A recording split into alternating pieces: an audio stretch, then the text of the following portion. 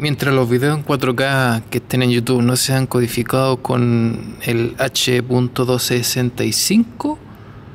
no, no podemos cantar victorias, no podemos tener una buena calidad de video, no podemos disfrutar de un video excelente que se vea con Ultra HD, pero con una calidad impresionante, no, no podemos cantar victorias.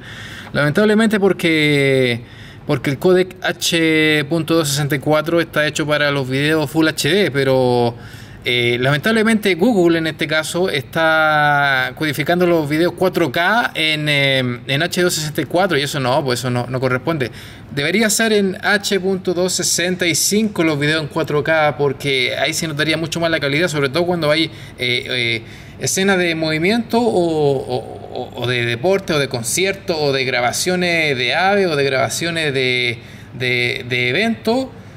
siempre cuando haya movimiento, en cualquier video 4K se va a notar la diferencia cuando hay un,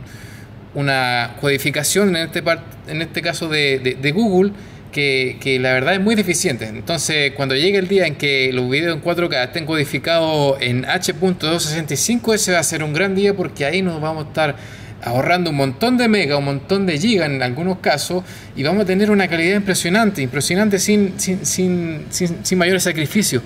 Mientras tanto, le vamos a agradecer eh, el apoyo obtenido a Sebastián Doffler, porque gracias a los conocimientos que nos ha entregado y gracias a él que yo estoy haciendo eh, posible eh, el hecho de que yo esté entregando conocimiento a través de internet también, es recíproco, es recíproco. Así que todo, todo calza, todo se vuelve, todo está disponible, así que a disfrutar nomás.